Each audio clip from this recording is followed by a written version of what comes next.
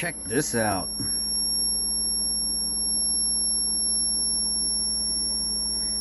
That plasma is basically acting as a jet.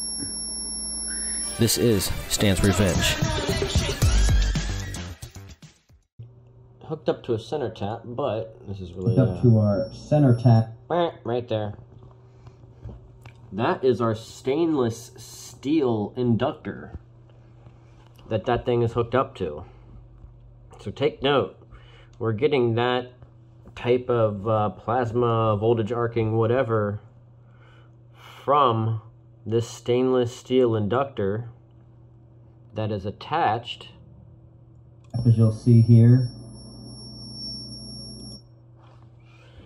to the center point on that transformer, which really isn't a center tap because it isn't wound bifilar. It's not configured in a bifilar. It's got two windings, but they're a dual, more like Siamese winding. So, in essence, we're only using the stepping coils from there to there on that secondary transformer there.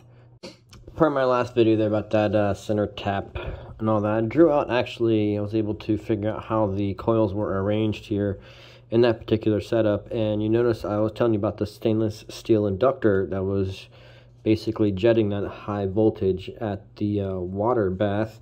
It was center tapped here, uh, but we did have a connection. The uh, north end, let's say, of the uh, secondary went down to the south end of this uh, inductor and then went to the cell on the other end of that cell. Basically, came up through the north end of the second inductor back down, linked that way.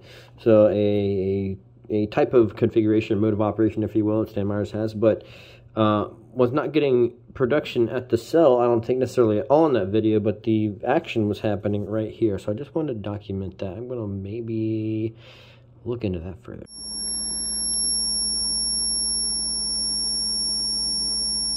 Look at that. This is Stan's Revenge.